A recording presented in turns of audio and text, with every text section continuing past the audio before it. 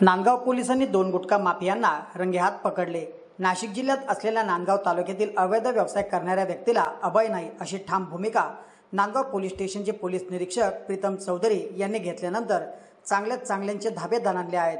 Nandgaon police स्टेशनचे police निरीक्षक प्रीतम चौधरी यांना गुप्त माहितीच्या आधारे चाळीसगाव येथून नांदगाव शहरात दोन गुटखा विक्री माफिया येणार असल्याची माहिती मिळताच एन सातशे त्रेपन्न नॅशनल हायवे हुतात्मा चौक येथे सापळा रचून दोन गुटखा विक्री माफिया आरोपी रोहित शरद यादव वयवर्ष एकवीस आकाश रामदास आहेर वयवर्ष चोवीस यांना रंगेहात पकडून तीस हजार आठशे दहा रुपयांचा मुद्देमालासह अटक करून दोन मोबाईल एम एच वीस जी एस त्रेसष्ट शहात्तर क्रमांकाची एक मोटरसायकल जप्त करण्यात आली आहे.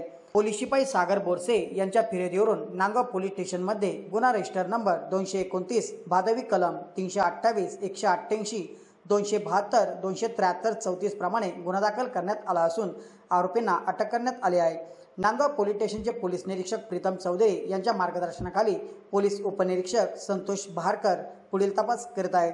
एस ट्वेंटी फोर मराठीसाठी मुक्ताराम बागुल नांदगाव.